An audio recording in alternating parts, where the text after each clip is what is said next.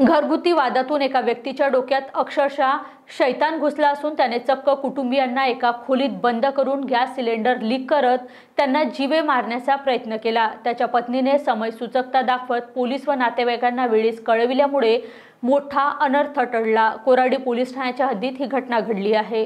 बरोबर कल तारीख उन्नीस फरवरी को कोराडी हाथ में ओमनगर एरिया है ओमनगर एरिया में एक अपार्टमेंट में रंजन शाह नाव के नाम के रेलवे एम्प्लॉई रहते हैं। उनका खुद का फ्लैट है, अपने परिवार के साथ रहते हैं, बीवी और दो बच्चों के साथ। मियाँ बीवी में अनबन चली होती रहती थी, बीच में कुछ डिस्प्यूट थी, इसलिए वो छोड़ के चले भी गए थे, फिर वो वापस आए थे।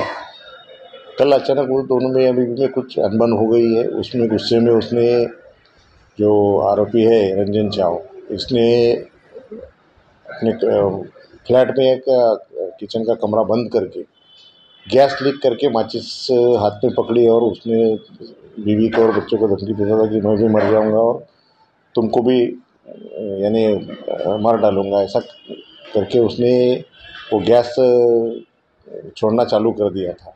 फिर पुलिस को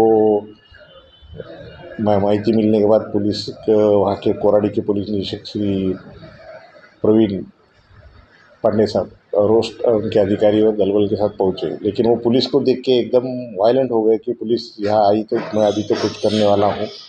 फिर भी बड़ी कुशलतापूर्वक उन्होंने परिस्थिति हैंडल की, फायर ब्रिगेड को बुलाया।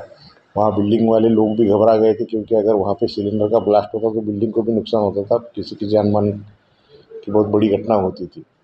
फिर उन्होंने बिल्डिंग के एक उसके पहचान वाले को उसको बातचीत करने के लिए भेजा, लेकिन उसने उनको भी अंदर लेके दरवाज़ा बंद कर दिया था। तो और चिंता बढ़ गई कि भाई अभी इसको, एक तो साथ में है और ये इनके साथ अगर घटना घटी तो ये भी बेचारे तो फिर पांडे साहब ने, जो पीआई पांडे साहब है, उन्होंने फिर समय सूचकता दिखा के, वो जो अंदर दूसरा जो फ्रेंड गया था, उनकी एक लड़की थी, उसको बातचीत करने के लिए भेजा और उनको कहने लगाया कि, तुम्हारा क्या मैटर है? तुम देखते बैठो, लेकिन मेरे पापा को बाहर करो।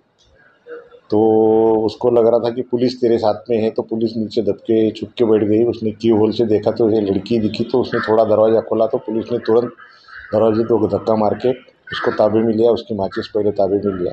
एक बड़ी घटना होते होते बच गई है फिर वो फिरियादी की कंप्लेन के ऊपर से तीन सौ सात, यानी खुद का जान कमाल का और दूसरे को जान जान लेने का खतरा था।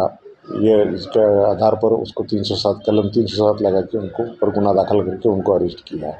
आगे का तपास कोराडी पुलिस कर रही है।